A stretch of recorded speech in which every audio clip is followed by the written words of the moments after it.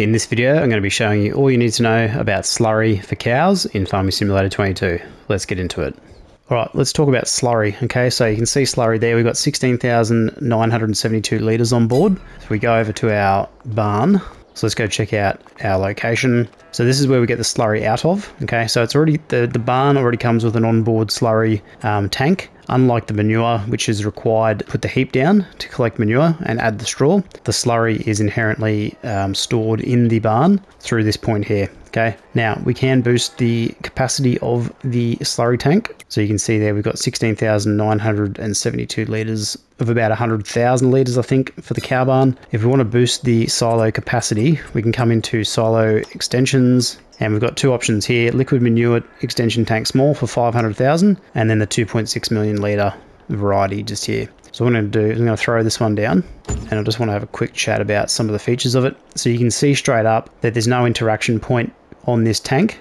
It's strictly just an extension. So basically what that means is this tank for slurry is going to boost the capacity of this barn and this point here is going to be where the slurry comes out. Okay. Now if we go back into our menu, we can see that our slurry bar has really shrunk down to a very minute green. So that basically signifies the overall capacity of that bar has increased dramatically. So in this case, it'd be like 2.7 million litres of a slurry. Okay, so that's one way to boost your capacity. The other way is to use a silo in the silos menu. So we've got a liquid manure tank. Okay, this one is independent because you can see there on the front. So if I swing it, swing it around to the right there, it's got an overloading point and a loading point. So this functions independently of the extension. So basically it means you have to cart the slurry through the slurry tanker from the barn where I'm standing over to this point. It doesn't automatically transfer like it does with the extension. Okay, so my preference is to use the extension, place close to the barn. You're never going to run out of storage if you go the larger option.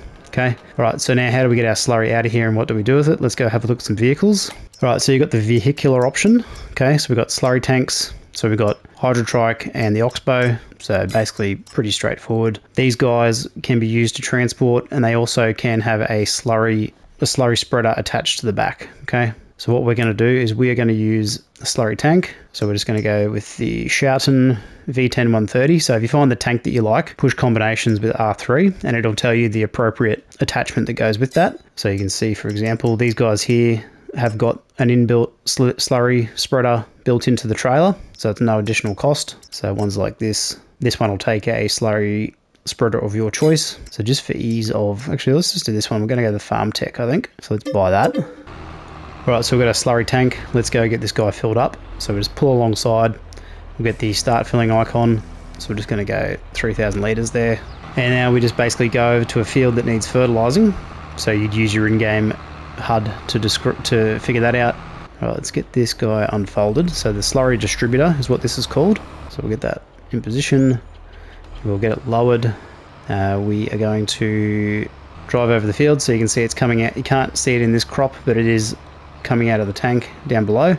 You basically just drive along your field. Usually you do this after ploughing or whatever stage is required. You can also activate double application rate as well. So you can get two fertilizer states. Obviously you go a little bit slower, but that's basically how you can use your slurry to fertilize your fields. Now you can also sell the slurry the same way as you can with the manure. So if you want to check the prices menu for slurry, you can see that there. And it also tells you your stock on hand in the prices menu as well. Okay. Now why you'd want to use slurry and manure for fertilizer. So obviously fertilizer is quite expensive. So having cows in particular and also pigs, I think they're the two main animals that produce manure and slurry. So if you've got them on your farm, you've basically got a, a free fertilizer supply in this in the form of slurry. You've got an additional supply of manure if you choose to use straw. Um, and then they're also producing milk in this case.